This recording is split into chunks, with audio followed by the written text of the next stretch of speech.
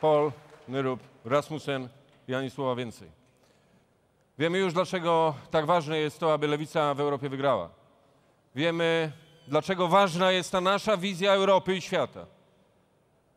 Podobno byli tacy, którzy zastanawiali się, kto powinien poprowadzić kampanię do Parlamentu Europejskiego. Czy może zrobić to ktoś lepiej niż jego wiceprzewodniczący? Czy może lepiej poprowadzić kampanię do Parlamentu Europejskiego ktoś, kto potrafi na nartach wejść pod stromą górę, z której inni potrafią tylko zjeżdżać swobodnie? Myślę, że nie ma takiej osoby innej niż Marek Siwiec, który Europę zna tak jak swój dom. Marku, zapraszam.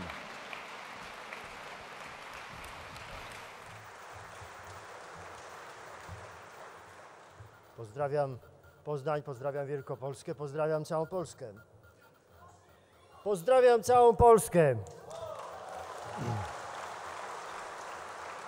Zanim tu wszedłem, ktoś mnie zapytał, jaka to góra była. To była Babia Góra, 1725 metrów. Pytacie, jaka będzie nasza kampania, kto startuje do Parlamentu Europejskiego. To będzie kampania uśmiechniętych, radosnych ludzi. To będzie kampania ludzi, którzy chcą przynieść trochę nadziei, chcą przynieść trochę optymizmu. Tą nadzieję próbuje nam się zabrać, a my na to nie pozwolimy. Nie pozwolimy, aby Polakom zabrać nadzieję. Tą nadzieję Sojusz Lewicy Demokratycznej przyniósł do Polski pięć lat temu. Ona była związana z Unią Europejską. A dzisiaj Unia Europejska może być sposobem na łagodzenie skutków kryzysu. Unia Europejska, mądrze wykorzystywane członkostwo to jest metoda na to, aby żyło się Polakom lepiej, ale o to trzeba walczyć, bo ci, którzy rządzą, są nieudolni. Oni tego nie potrafią. Pytacie, pytacie, kto będzie, kto jest na naszych listach? Odpowiem tak. Nie ma cyrkowców, nie ma artystów, nie ma sportowców, nie ma zdrajców, nie ma cwaniaków.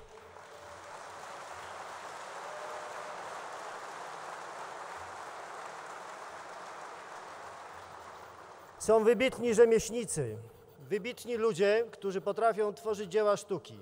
A polityka to jest taka dziedzina, w której można tworzyć dzieła sztuki. Ale żeby tworzyć dzieło sztuki, trzeba być w polityce, a nie wolno wpadać do polityki jak do klubu raz na pięć lat, pokazać się, powiedzieć: Jestem fajny, głosujcie na mnie. My w tej polityce byliśmy, jesteśmy i będziemy za pięć lat. Każdy, kto będzie głosował na Sojusz Lewicy Demokratycznej Unii Pracy, będzie wiedział, że ten pan, ta pani dzisiaj składają sprawozdanie z minionych pięciu lat w polityce, w Parlamencie Europejskim. Dzisiaj coś obiecują, ale za pięć lat przyjdą rozliczyć się z tego, co robili w minione pięć lat. I tak działamy, i tak będziemy działać, i tym się różnimy od wszystkich szalbie, szalbierzy i cwaniaków.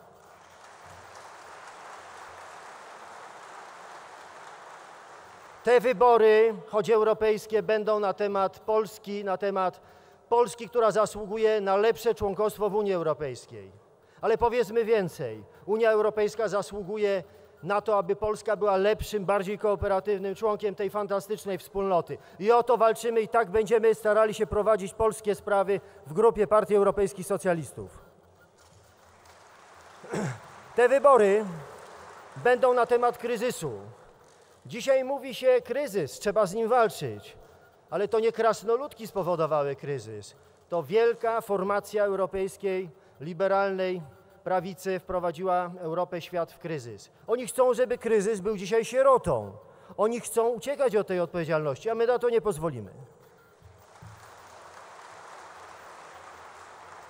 Gdy będą Was pytać, czym się różni nasza oferta od tego wszystkiego, co mówią konkurencyjne listy, różni się tym, że my chcemy dla Polski więcej Europy. My chcemy więcej Europy po to, aby ludziom żyło się lepiej. Po pierwsze, człowiek.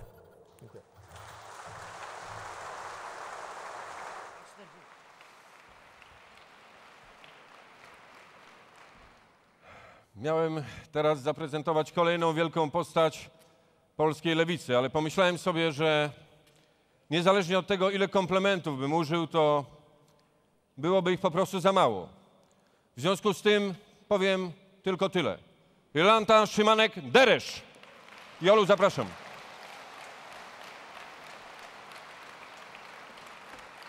Witam cię.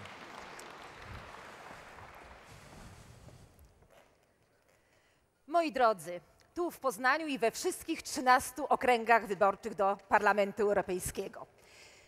Te wybory będą także w interesie kobiet, w obronie praw człowieka i będą stawiały na młode pokolenia.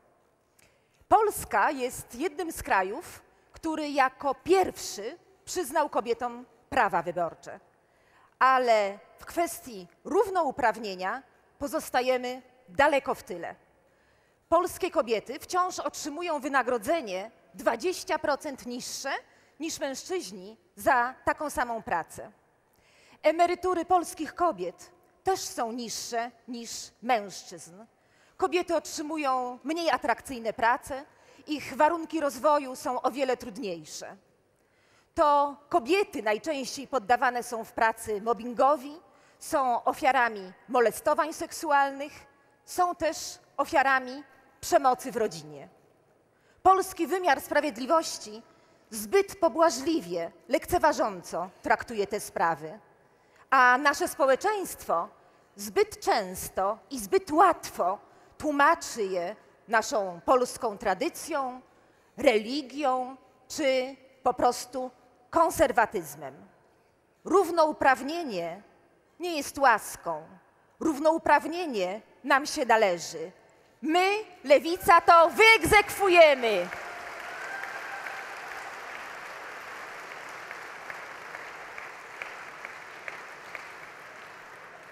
Chcemy prawdziwego równouprawnienia, nie tylko bez względu na płeć, ale także pochodzenie społeczne, przekonania religijne, orientację seksualną czy rasę.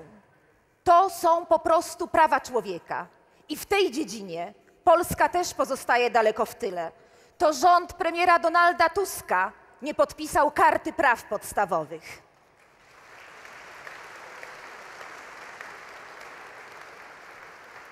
To rząd premiera Donalda Tuska podtrzymał i podtrzymuje duszny klimat wprowadzony przez Prawo i Sprawiedliwość przy pomocy samoobrony i Ligi Polskich Rodzin. To rząd Donalda, Donalda Tuska wspiera ciemnogród, wspiera.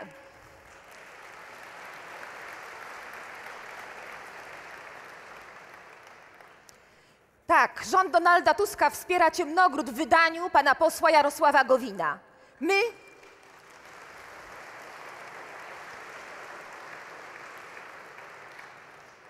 My chcemy zmienić ten klimat. My chcemy wprowadzić do Polski klimat europejski.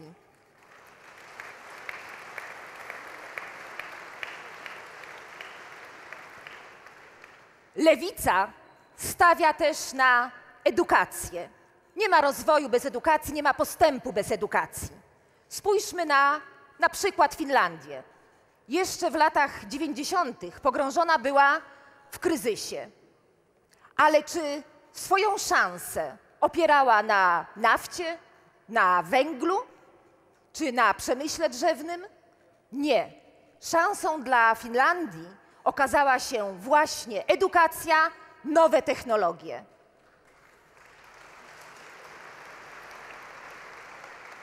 Lewica, lewica chce wykorzystywać środki unijne przede wszystkim na kształcenie.